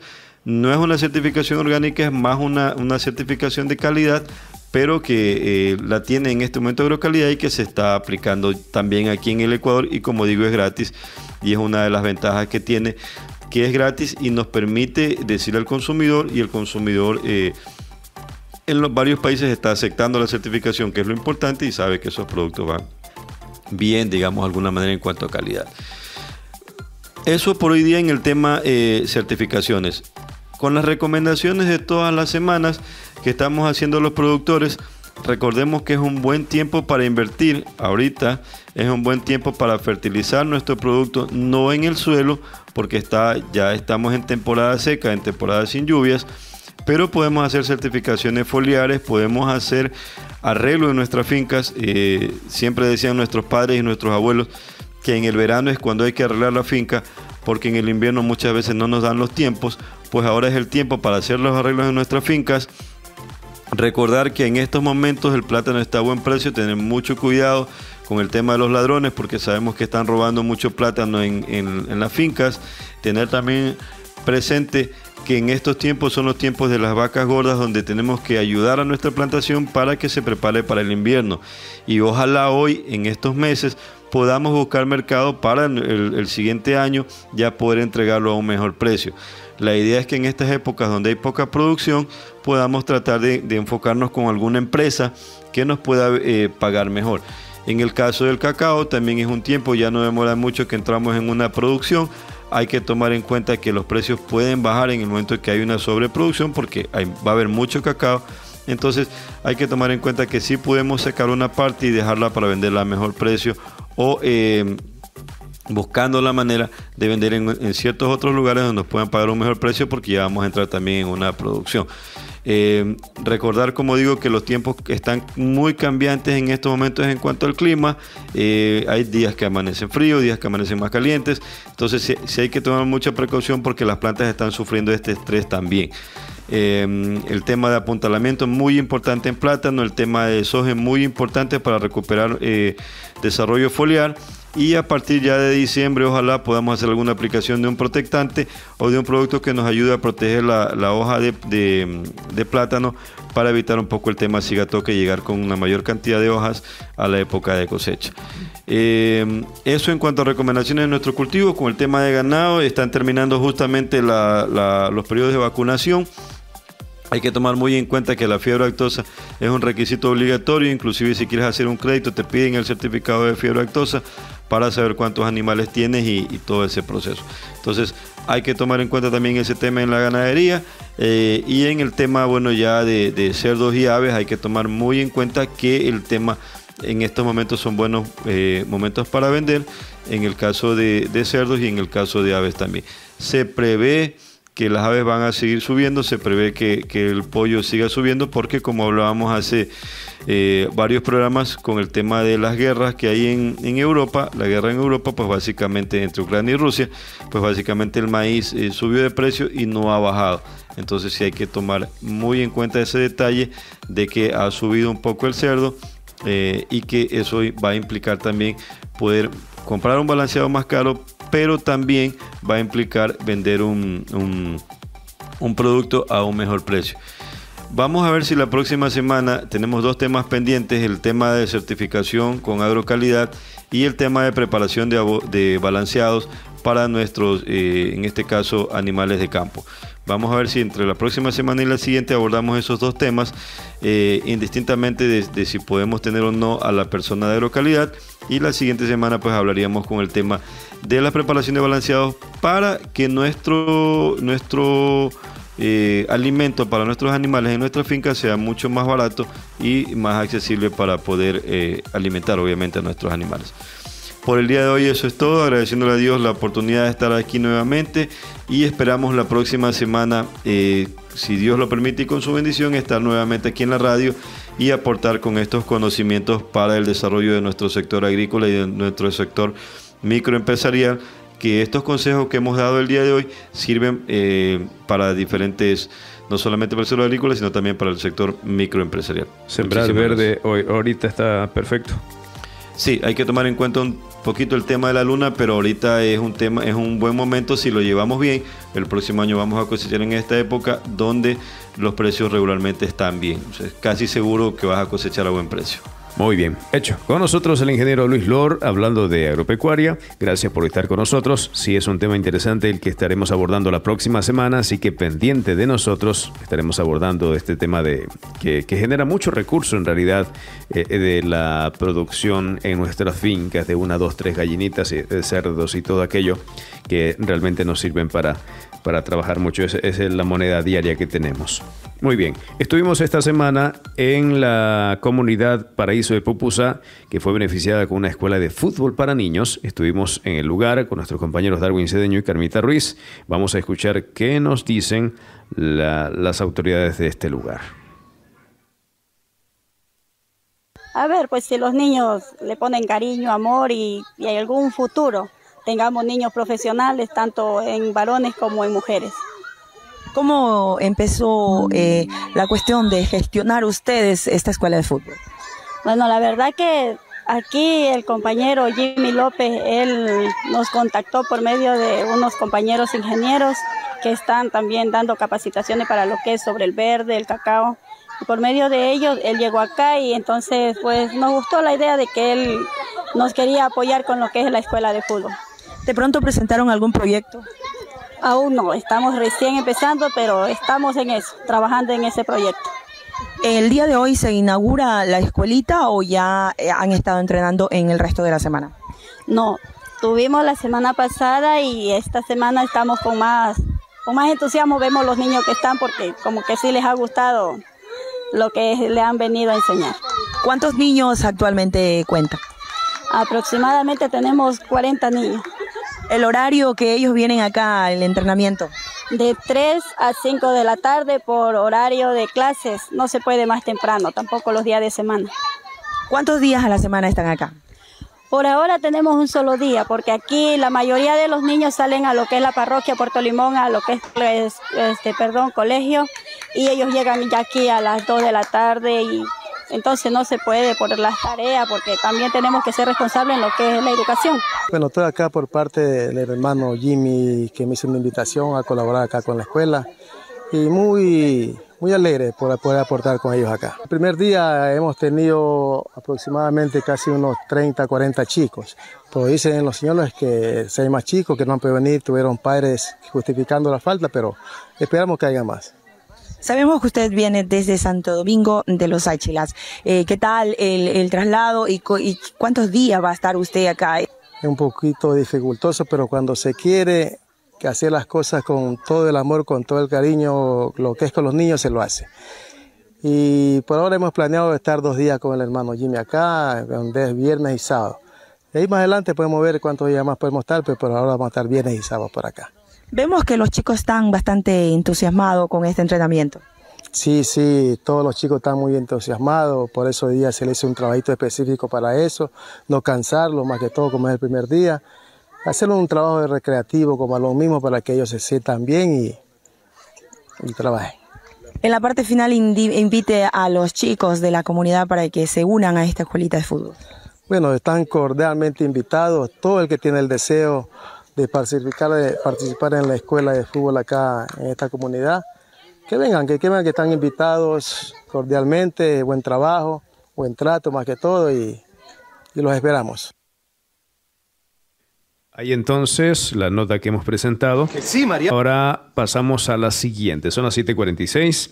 También en esta semana tuvimos la oportunidad de dialogar con el Comité Central de Padres de Familia de la Unidad Educativa 5 de junio acerca de los recursos que se están gestionando para eh, retocar ciertos detalles en la institución educativa y sobre todo la reconstrucción o el recapeo de la cancha principal.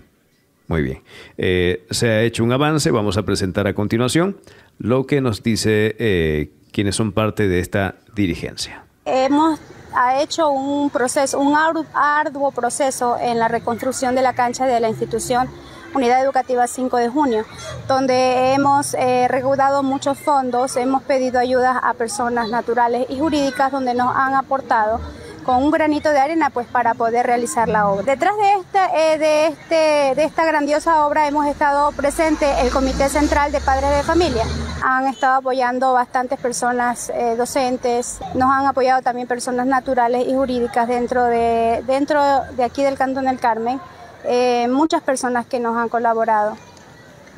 ¿Cuál ha sido el arreglo que le han hecho a la cancha? La reconstrucción, la reconstruimos totalmente. Totalmente. porque ¿La estaba... dimensión? Eh, la dimensión me parece que son 585 o 582 metros cuadrados lo que se hizo. Esto estaba, ¿cómo se encontraba la cancha anteriormente? Bastante deteriorada, estaba muy deteriorada ya que habían huecos, habían baches, se había hecho eh, fisuras dentro de, de, lo que es la cancha, entonces los estudiantes, jóvenes y niños de la institución no podían eh, hacer eh, eh, sus juegos, no podían estar recreacionándose ya que podían lastimarse. Vemos que la cancha no está terminada en su totalidad, ¿qué le haría falta? En sí, lo que nos haría falta ahorita sería la pintura de la cancha. Eso vamos a organizarnos haciendo gestiones también pues para poder eh, poderla pintar y así entregar una buena obra. Fueron personas este, de buen corazón, generosas y este, que nos pudieron ayudar. Muchísimas gracias. Yo personalmente agradezco a todos ellos por la ayuda que nos han dado, por no habernos cerrado las puertas y habernos ayudado en lo que se les solicitó. ¿Cuándo estuvo lista la obra? ¿Qué, ¿Cuánto ya se demoró? Empezamos desde el día viernes a realizar la obra y nos entregaron el día de ayer domingo. ¿Se trabajaron tres días? Sí, se trabajó tres días. ¿Muy contenta por la labor? Claro que sí, muy contenta por la labor, sobre todo pensando en el niño, en el estudiante de la, de la institución, ya que ellos son el futuro del país y este, sabiendo de que la educación hace falta muchísimo apoyo. Hay entonces este, la información que nosotros hemos presentado. Gracias por habernos invitado para dar esta versión. Este, opiniones encontradas, ¿no? Hay mucha gente que dice, sí, está bien para contribuir a la institución educativa, no, el gobierno tiene que encargarse de aquello, etc., etc. Pues acciones necesarias que hay que hacer para que nuestros hijos se vayan educando en ambientes eh, de convivencia compartida. Importante aquello. Entonces, eh, sí es importante también igual que estos acontecimientos van generando de que eh, se les haga normal a nuestros hijos el compartir, ¿no? Porque generalmente estamos siempre tratando de que nos den todo y no dar nada. Entonces, sí, si la vemos desde esa óptica, desde ese punto de vista, sí es un poco difícil a veces para nosotros poder generar recursos y poder contribuir con aquello, pero eh, de alguna forma, aunque sea un centavito, poder hacer actividades, eh, comidas, rifas, de alguna forma se puede hacer. Siempre hay un camino, siempre hay una opción por donde caminar. Muy bien, por otro lado, en temas de celebraciones festivas, la comunidad San Ramón de Tigrillo ya vivió las fiestas políticas la vez pasada que estuvimos comentando, ahora uh, vivió sus fiestas patronales. Vamos a escuchar, aparte de la dirigencia también, que nos hablan del trabajo, de cómo se ha desarrollado esta festividad en esta comunidad. Nada, primero darle las gracias a Dios, que Él ha sido pues el que nos ha dado el permiso para ejecutar esta novena, iniciamos el 22 de agosto y lo estamos culminando hoy día. ¿Qué se desarrolla en la semana?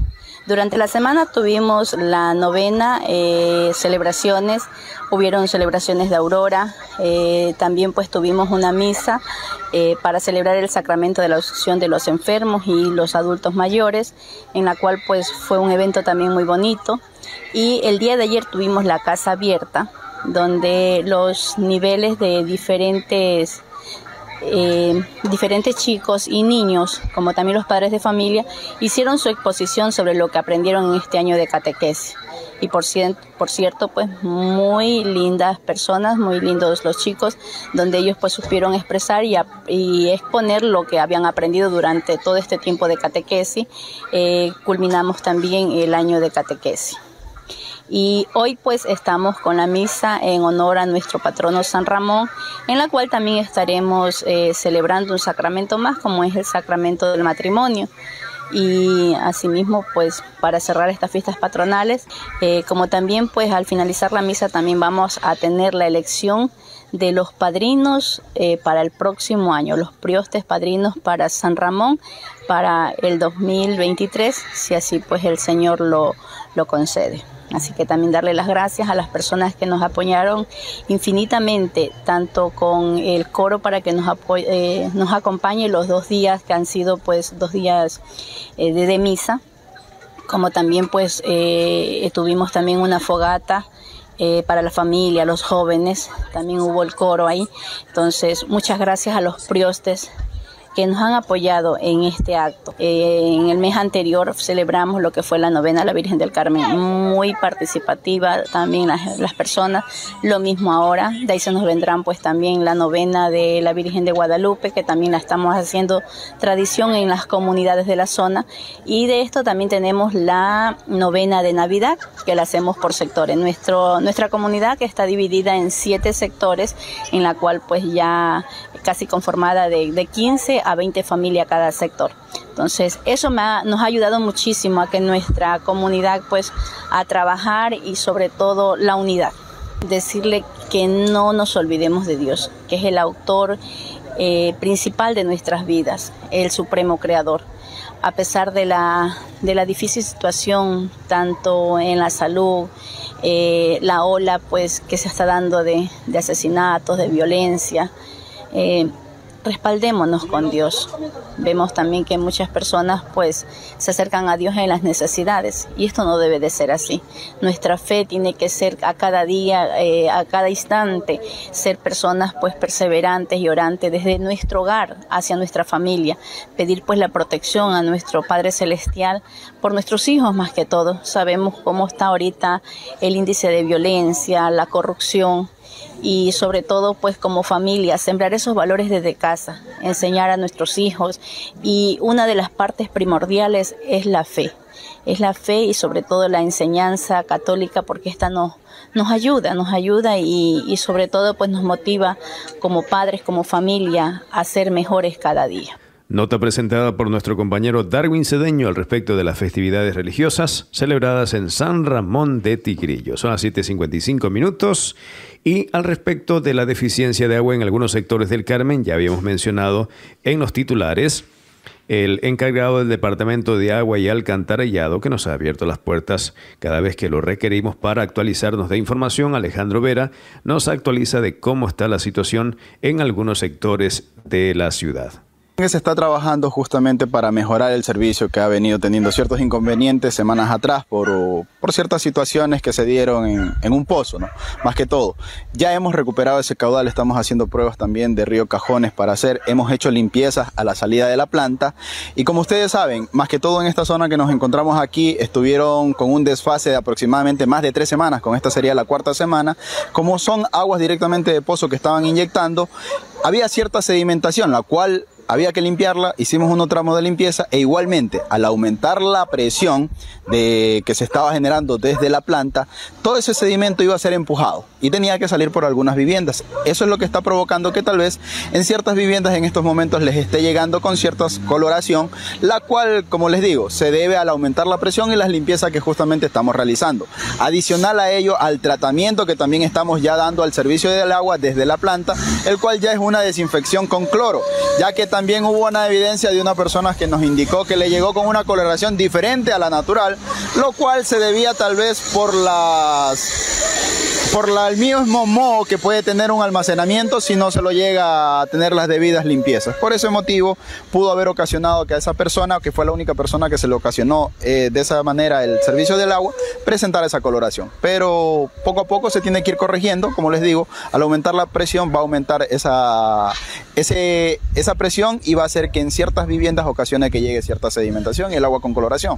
Por ejemplo, también fuimos llamados en el sector de Atenas 3, justamente en la subida del Chapuzón de Mario, donde la vez pasada estuvimos y que allí sigue el derrame de agua. A ver, allí efectivamente hubo una fuga, una fuga de varias mangueras las cuales fueron atendidas. Después de ser atendidas, seguimos el, el afluente de agua y desde la parte alta de Atenas 3, varias personas tienen conectadas lavadoras directamente a una tubería que defoga en la parte baja, justo en la subida del Chapuzón de Mari. El flujo es constante, pero viene de las lavadoras e incluso en la asfaltada que va hacia la Paspala, también una moradora, agua de lavadora bota hacia esa zona. Ya no es una fuga de agua, ya depende mucho de la concientización de nosotros como ciudadanos que por favor no evacuemos las aguas hacia la, hacia la vía, que es lo que está ocasionando de que exista esta inconformidad y que digan que es una fuga de agua. Si la hubo, fue atendida, seguimos el proceso, pero ya no son fugas de agua. Ya es directamente nosotros como ciudadanos que estamos evacuando hacia la vía, provocando que en la zona baja se esté este, ocasionando este malestar, ya que necesitamos que igualmente eso seque para poder compactar y ubicar los adoquines, que fue el trabajo que se hizo con, en conjunto con el contratista para el trabajo del empate de la tubería que pasa por ahí para llegar hacia la planta de agua. Palabras de Alejandro, palabras de Alejandro Vera, director encargado del Departamento de Agua y Alcantarillado al respecto de la deficiencia de líquido vital en algunos sectores. Esta no es una historia nueva, nada más para que hacer un poco de remembranza. Es una historia que siempre, porque hace tiempo, cuando en nuestra época más antigua, desarrollaron conexiones de tuberías eh, para una población más pequeña, luego el Carmen fue creciendo y la cosa se fue extendiendo con tuberías que no estaban previstas para poder sustentar o solventar con líquido vital algunos sectores del Carmen. ¿no? Entonces tampoco se ha ido extendiendo, se ha ido extendiendo, los pozos, eh, claro, estaban reduciéndose en cuanto al caudal y lógicamente pues la proyección o el alcance que tienen que dar las conexiones de tuberías o, o el afluente o la potencia de las bombas pues ya va este, reduciéndose en su alcance por la distancia. Esa es la situación. En cuanto al tema de líquido vital que se está derramando ahí en el sector de, de la Atenas 3, nosotros estuvimos en el lugar y realmente así es agua de eh, eh, Calle Eugenio Espejo, eh, realmente así es agua de tubería. O sea, sí hay algo de derrame de, lavado de ropa, pero estuvimos viendo, hay un video que también publicamos, está súper clarita y rueda el agua como un estero. Sí. Entonces, y se Igual es un trabajo que se hizo, se supone que quedó bien, entonces de aquello ya dijo el ingeniero también que se iba a dar una vuelta y nosotros estaremos pendientes también de brindarles una actualización al inicio de esta semana, así que pendiente a través del Facebook de Ciudad al Día con respecto de agua. En algunos sectores llega el agua turbia, en algunos sectores no llega. Darwin Cedeño, por ejemplo, en el sector que estuvo como un mes sin agua, pero ya tiene. Eh, ya le llegó turbia y ahora ya, ya le llegó, llegó, bien, porque el agua, mientras va, va, limpiando las tuberías, pues llega la primera vez turbia hasta que se actualiza, pues y ya llega clara. Ahora sí ya se puede bañar luego de un mes. ahora sí lo tiene que sufrir. Pare de sufrir. Pare de sufrir. Ay. Muy bien. Por otro lado, estuvimos también gracias a la invitación de los habitantes del barrio Nuevo Paraíso. En este sector se ha estado también haciendo la reconexión de tuberías de agua que por supuesto están agradecidos ante este trabajo que realizó el gobierno municipal, el departamento de agua. Eh, se viene también, este, se realizó la incorporación de las cometidas, acometidas domiciliarias y es el trabajo que se ha venido realizando, ¿no? Hay adoquín que fue levantado, adoquín que fue colocado, y sucesivamente, ¿no? Pero hay otros compromisos que los habitantes del barrio nos hicieron conocer a través de una entrevista solicitada a nuestro medio de comunicación, así que vamos a hacerle escuchar el diálogo que mantuvo nuestro compañero Darwin Cedeño con los habitantes del el lugar. Vino el señor alcalde y nos prometió una canchita. Claro que no sale una cancha reglamentaria, pero sí nos ofreció este, que nos iba a ayudar aquí en este barrio porque no eh, tenemos un, espacio en donde se recreen nuestros hijos. Eso de que aquí en la parte eh, de atrás, en la parte de atrás, como pueden darse cuenta, había este, eh, este, este cerramiento que han hecho, este espacio, estaba ocupado por, por esta cerca. Vino el señor alcalde, hizo unas mediciones del municipio con las escrituras en mano y reducieron hacia la parte eh, de allá hasta donde restaban las escrituras. Ahora el día sábado que pasó, pues los señores de acá, de, este, de, este, digamos, de este solar, de este terreno, nuevamente han hecho las cercas hacia donde estaba anteriormente, ya que los niños eh, jugaban, hacían deporte en la parte de allá, que son casi cerca de 15 niños que viven aquí en, la parte de, arriba, porque antes jugaban en la calle y siempre sabemos que las calles son bastante peligrosas ya que esta vía quedó bastante transitada con lo que fue el, arreglo del adoquinamiento. Y ahora los niños corren peligro, incluso jugando en la calle, que los carros a veces bajan a toda velocidad. Le dijimos al señor alcalde que queríamos un rompe velocidad, un muro eh, en la subidita, eh, pero hasta el día de hoy vemos la situación. Y él nos ofreció que iba a hacer eh, un, muro de velocidades. Sí, nosotros quisimos hablar con ellos, pero ellos no, no supieron decirnos nada. O sea, nosotros, a menos yo le dije, vecina, dígame si usted ha comprado en el municipio ese pedazo de tierra o qué pasó, porque esto el señor alcalde nos prometió a nosotros una canchita para los niños, el cual el señor alcalde ya había mandado un tractor, ya había hecho limpiar, estaba limpiecito, estaba bonito, los niños ya estaban jugando. Entonces, lo único que ella me dijo fue que ella ya había ido a hablar al municipio y que ya estaba comprando y que no tenía que darme explicación a mí de nada. al momento que la señora le manifestó eso, de repente ustedes no se fueron al municipio para que de repente le dieran una aclaración. No, no nos fuimos porque eso recién pasó el día sábado. Como nosotros tenemos un presidente aquí en el barrio, hablamos con él y él dijo que él no sabía del asunto, pero que ya iba a, a tratar de hablar con las personas del municipio y que ya nos iba a, dar una solución, que iba a hablar con el señor alcalde, porque yo pienso que eh, si el señor alcalde nos prometió esa canchita pequeña para los niños, yo le creo y yo sé que él sí nos dio esa canchita para los niños y que muy bien, entonces esa es prácticamente la opinión de los moradores que nos eh, daban a conocer su, su malestar, su necesidad, eh, porque realizan, dice, actividades deportivas a los niños en plena vía y tienen el peligro de que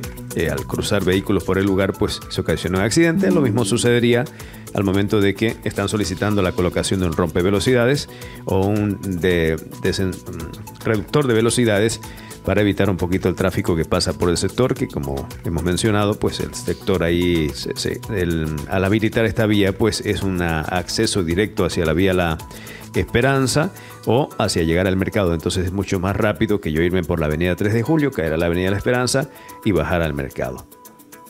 Bueno, ahora eh, se supone que eso el día de ayer ya fue atendido. Eh, pues tocaría consultarles a los moradores eh, qué pasará, ¿no? Porque se supone que decía, dicho por el alcalde mismo, que eso era un área verde y que él no había prometido nada por ese sector. Porque está en contra de que se destruya esta parte del área verde. Entonces, vamos a ver. Claro, es un tema para tratar en esta semana con el, el, encargado de obras públicas. De obras públicas, claro que sí. Para ver cómo está la situación, porque a, versión del alcalde es mentira todo lo que dicen los habitantes de este lugar, que él no ha ofrecido el construir una cancha ahí, ni, ni mucho menos. Pero es un tema que ya abordaremos con las autoridades necesarias. Ya vamos a concretar la entrevista esta semana con el director de obras públicas para conversar al respecto hasta qué punto está el compromiso hasta qué punto no, ¿no? Porque los habitantes del lugar dicen una cosa, las autoridades dicen otra y en ningún momento nosotros queremos estar inclinando la balanza en ningún lado hacia el otro, simplemente hacemos conocer las necesidades que a través del 098-428-1050 usted nos hace conocer y nosotros pues acudimos al lugar para poder eh, ser portavoces de las necesidades que ustedes tienen, ¿no?